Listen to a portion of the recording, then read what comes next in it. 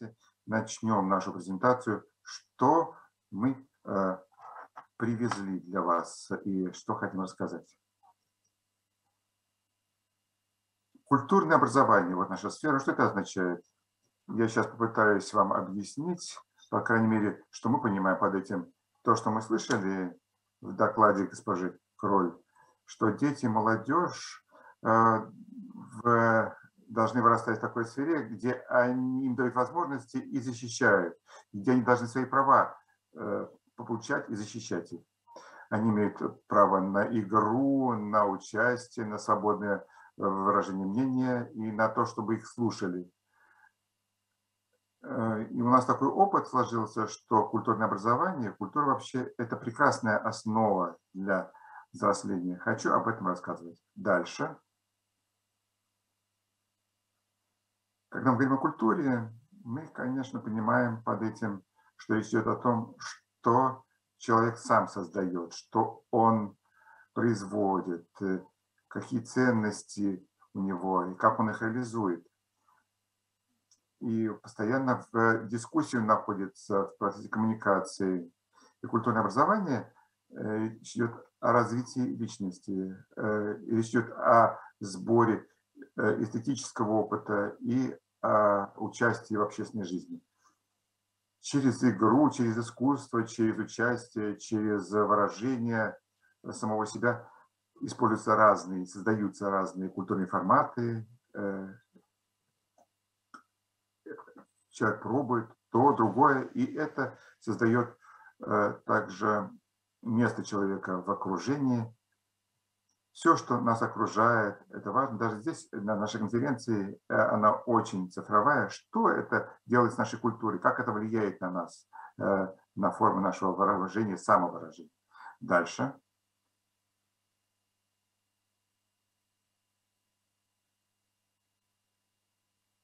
Цифровизация нас э, окружает. Не везде даже можно понять, где она присутствует с одной стороны, техническая сторона, вопрос трансформации, где различия между э, цифровым миром, э, аналоговым миром. Все смешалось. Во всяком случае, э, дигитализация цифровизация означает, что наша культура, наше взаимодействие меняется, наши ценности, то, что мы воспринимаем, что мы оцениваем, как мы выражаем себя, самовыражаемся, все меняется. Я привела несколько примеров. Здесь слева наверху видите три обезьянки и планета. Это эмодзи, э, которые используют в разных э, социальных сетях, мессенджерах, которые меняют нашу коммуникацию. И здесь присутствует игровое начало – есть такая уже возникла сетевая культура, все, что связано с цифровизацией. Есть такие маленькие игры с эмодзи. Вот э, фильм можно так зашифровать. Какой фильм здесь зашифрован? Э, формы коммуникации меняются мы сидим здесь в Берлине, мы подключены э, э, сюда, э, в Томск, разные временные зоны, и тем не менее обсуждаем совершенно разные темы. Речь о том, как дети, молодежь, как можно их вовлечь в коммуникацию, как преодолеть границы. Мы многих людей сводим друг с другом, встречаемся, и как это меняет нашу культуру в рамках цифровизации. А сверху видите картинку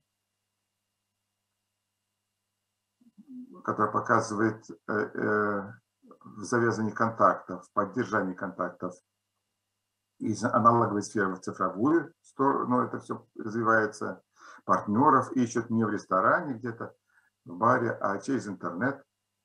Есть новые вещи, которые там складываются. Они изменяют старые формы, но здесь никаких оценок, но просто возникают новые формы, воспринимать мир, взаимодействовать в этом мире. Еще один пример для изменения нашей культуры. Э, культура ремиксов, то есть вещи, которые уже существуют, э, изменять, новые контексты создавать. Есть известные такие вещи, мемы. Вот это, значит, известная картинка и текст с, такой, с, с юмористическим смыслом. И такого очень много. То есть мемы используются. Вы наверняка с этим встречались. Э, это форма самовыразиться, обрабатывать информацию и относиться к тому, что происходит вокруг нас. Если все вызовы, изменения в цифровом мире соединятся с, с, культурой, с культурой, с способом понимания мира, то мы подойдем к тому, что культурное образование это очень важная вещь. Э, дети и молодежь должны получить какие-то инструменты или разработать вместе с ними новые инструменты взаимодействия. Это очень ценная перспектива. Э, э, и здесь надо, конечно, быть очень внимательным и все это за всем этим наблюдать. То есть предложение культурного мира – то абстрактный мир э, цифровизации можно сделать понятным. Можно себя испытать и э, расширить возможности для коммуникации, для участия. Можно создать что-то такое в цифровой сфере. Посты, э, распределение и передача информации, картинок, фотографий. Э, дети, молодежь все это размещают в интернете, общаются таким образом. Еще один элемент нашего общения – это преодоление формальных барьеров. Что мы имеем в виду? Есть молодежь и дети, которым трудно даются классические форматы образования. Им трудно в школе Э, концентрироваться, внимательно все слушать, усваивать. Им нужны другие подходы для того, чтобы осваивать мир, отвечать на вопросы, которые задает мир. И здесь культурное образование дает прекрасные возможности. И э, это также связано с равенством шансом для всех детей в будущем. Культурное образование теперь получает преимущество, потому что возникают, возникают новые методы, э, креативные методы, инструменты, и это новая перспектива для молодежи открывает. С одной стороны, это может быть предметом споров, с другой стороны, инструменты собственные идеи реализовать и распространять свои инициативы. Не результаты, а путь зачастую бывает важнее, чем результат в нашем проекте мы э, привели, вводим такой пример, э, вот э, место цифровых встреч. И госпожа Хенш, моя коллега, сейчас продолжит. Дальше. Большое спасибо за переход такой. Я сейчас брошу взгляд на наш проект цифровые возможности. И хочу показать, что за этим скрывается. Пожалуйста, дальше.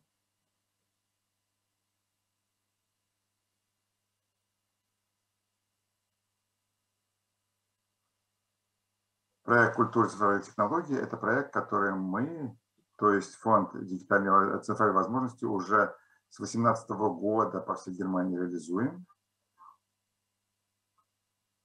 на 5 лет рассчитан этот проект. То есть как раз мы в середине находимся и до 22 года, до конца 22 года, 22 года э, пойдет, и уже мы накопили определенный опыт, уже ценный опыт. Поддерживается этот проект в рамках программы «С культурой ты сильнее». Э, наше Федеральное министерство образования и науки поддерживает наш проект. Это программа, цели, которые стоят в том, чтобы поддерживать культурное образование, особенно для э, детей, молодежи из неблагополучных семей. Э, именно с их участием мы реализуем наши мероприятия. Мы э, неблагополучные дети, финансово, социально, с 6 до 18 лет участвуют. Мы к ним обращаемся. Мы хотим показать, как э, с помощью цифровых медиа можно творчески общаться, использовать их и от пассивного потребления медиа, э, который часто встречается вот у детей этих э, сфер, как можно к активному использованию перейти. Мы хотим показать, что с помощью этих медиа можно что-то собственное создать. И этой молодежи мы хотим дать дополнительный доступ к культуре. культуре. Мы сотрудничаем по проекту с молодежными организациями, клубами, с библиотеками, школами, самыми разными организациями, которые имеют доступ к нашим э, целевым группам. Они могут подавать заявки, и, и наш проект поступает к ним прямо домой. И мы представляем из нашей педагогов, из нашей команды Э, они на местах работают, которые проводят семинары на местах э, с молодежью и детьми. Несколько цифр я принесла, чтобы вы поняли масштаб нашей работы. С 2018 года, когда мы начали проект, более 140 э, союзов образования. Мы создали с ними такие союзы, объединения, кооперацию – более 250 семинаров провели с нашими партнерами на местах. И по, крайней, по крайней мере две с половиной тысячи молодых людей участвовали в наших мероприятиях. Дальше.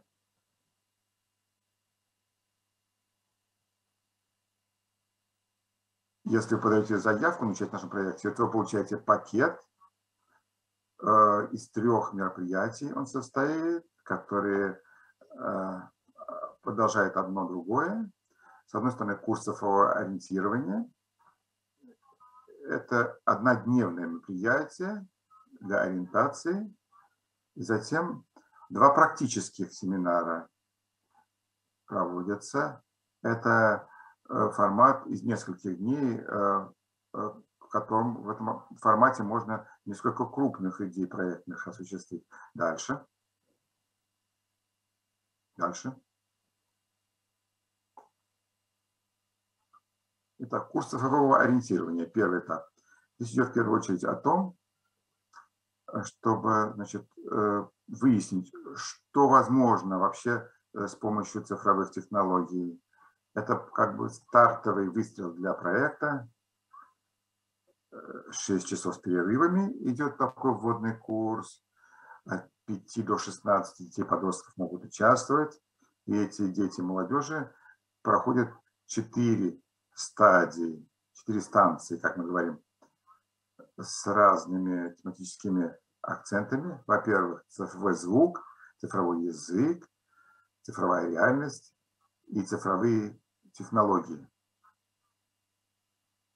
Руководит этим курсом э, педагог, которого мы представляем, который приносит с собой э, инструменты, гаджеты. Обычно это планшеты, ноутбуки, методические материалы. Представляем, тетрадка есть э, такая с карточками, с целевыми установками по отдельным станциям, чтобы молодежь, дети действительно самостоятельно работали с разными э, гаджетами и приложениями. Эти станции, участники затем должны их э, вдохновить на развитие собственных идей, которые потом э, реализуются на практических семинарах. Паркур такой значит, обсуждается, выясняется, что им больше всего понравилось участникам и потом на этой основе что-то придумываем. Это э, очень важно для нашей нашего проекта партиципативный, то есть активное участие, да, предполагается взаимодействие. Дети действительно сами должны активно принимать решения, что они хотят сделать в ходе семинара.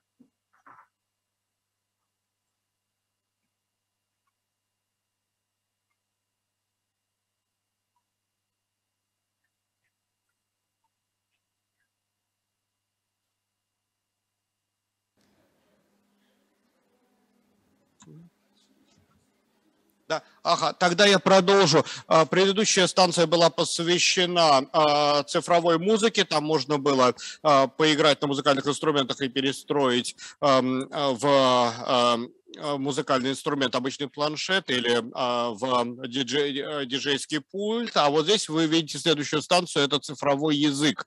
А, дети могут при помощи достаточно простых инструментов для программирования, Calliope Mini, может быть, вы знаете, что это эту программу или использовать другие инструменты для программирования, как Scratch, например. Дальше, пожалуйста. Да, вот здесь увидите а, цифровую реальность, станция цифровая реальность. Дети в аналоговом мире имеют возможность э, расширить свои возможности с помощью а, цифровых технологий. Могут быть использованы различного рода эпы, приложения а, для того, чтобы э, связать аналоговый мир с виртуальным и это действительно характерная особенность нашего проекта. То есть дети сначала могут что-то нарисовать на бумаге, какой-то эскиз э, создать или какую-то фигуру нарисовать, а затем отсканировать эту фигуру с помощью планшета. Это очень хорошо видно здесь на фотографиях. И затем а, они а, могут работать с этой фигурой на экране планшета. Дальше, пожалуйста, последняя станция – это цифровая техника. И вы видите здесь э, вот этот Э, салат из э, разноцветных кабелей. Речь здесь идет о том, чтобы экспериментировать с разными материалами, что-то смастерить из них. И здесь мы используем Makey-Makey. Это гаджет, который э, позволяет, например, альтернативное управление а, компьютером из э, э, подручных материалов и потом управлять компьютерной игрой, например. Так вот, мы используем э, светодиоды, мы используем подручные средства для подсветки, экспериментируем с разными материалами и эм, немножко изучаем тему электричества, электрических цепей. Дальше, пожалуйста. Я здесь хочу показать вам небольшое видео. Это впечатление от нашей работы в, по а, нашим секциям, а, по нашим отдельным станциям. Сейчас попробуем его проиграть.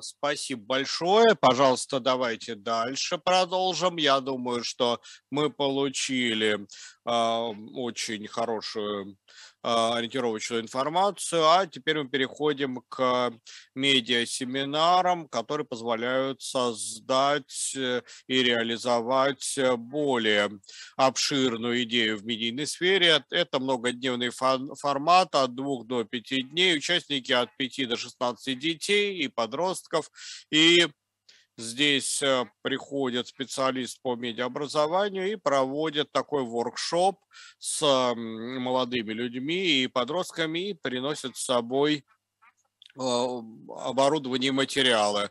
Что происходит в ходе такого воркшопа? Здесь вы видите на картинках, что там делается, то есть проводятся эксперименты, очень многое опробуется и представляются э, в результате, э, потом э, в конце результаты. Но, естественно, каждый воркшоп не похож на другие, каждый воркшоп уникален, потому что дети также участвуют в принятии решения, что будет происходить.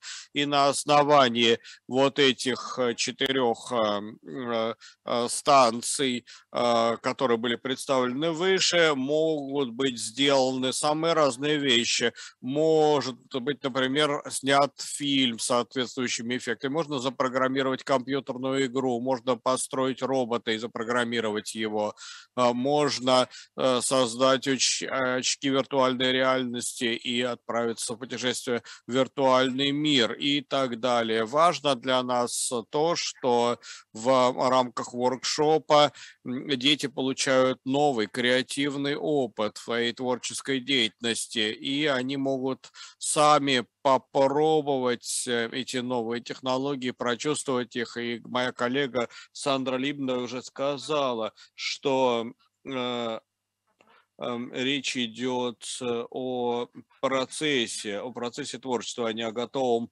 продукте. Но если в результате ничего не получится, это тоже не страшно. Главное, чтобы процесс доставлял участникам удовольствие, чтобы это будило их э, интересы, чтобы дети получили желание продолжать работать в этой сфере и дальше, даже если проект уже закончился. Пожалуйста, дальше.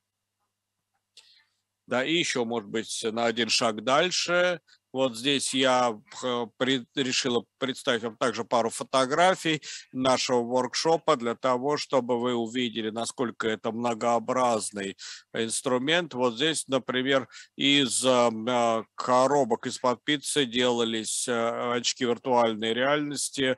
А, они склеивались, потом вставлялись линзы, и если поставить смартфон в такие очки и открыть специальный app, специальный мобильное приложение, можно действительно открыть для себя а, новый виртуальный мир. И дети могли эти очки э, сделать индивидуально, оклеить их э, э, чем-то там, наклейкой, империями, чем угодно. И вы видите здесь связь между рукоделием в аналоговом режиме и знакомством с виртуальной реальностью. И вот здесь вы видите, может быть, несколько мелкая картинка, тем не менее, надеюсь, что видно. Здесь э, вы можете увидеть э, элементы игры Lego. Они, дети разрабатывали прототип для видеоигры с помощью конструктора Lego. То есть сначала они придумали некий мир,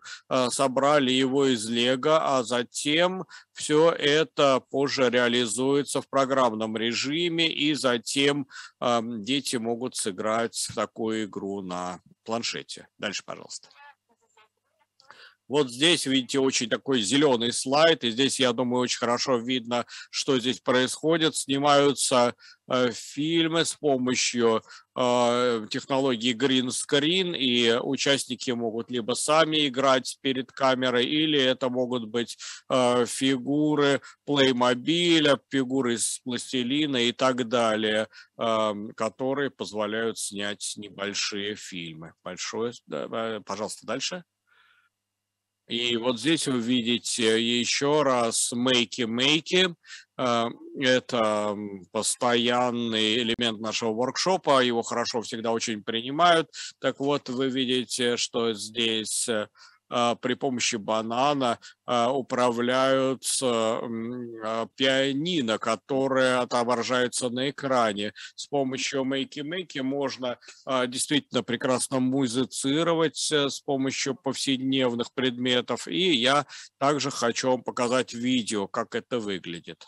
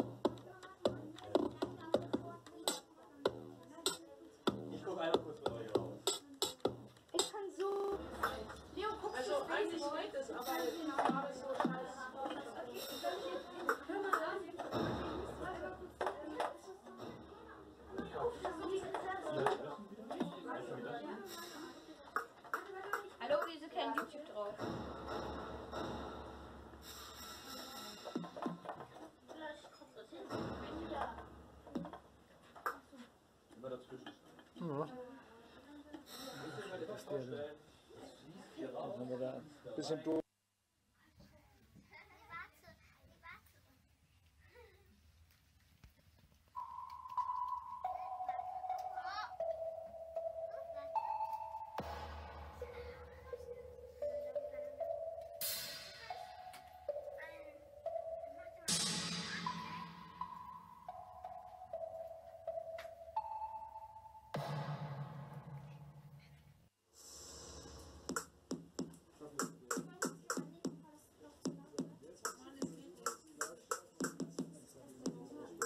kaka yandan.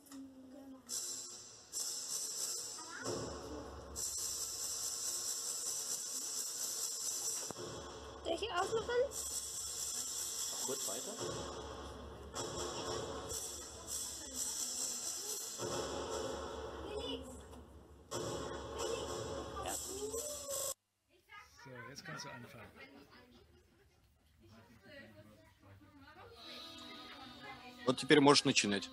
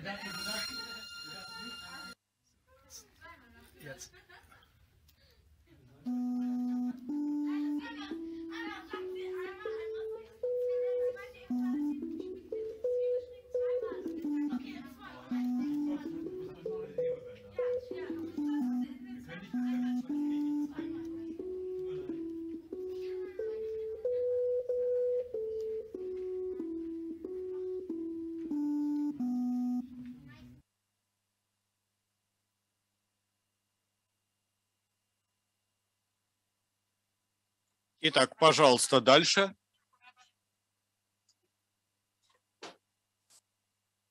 Мы показали экспериментальный э, характер, который мы применяем э, на наших семинарах. Мы многое э, испробовали, это всем интересно, насколько э, цифровые средства и аналоговые их можно сочетать друг с другом. Больше информации на нашем сайте можете найти, по-немецки, правда, э, в Инстаграме, впечатления, новые фотографии можете найти. А в целом я благодарю вас за внимание.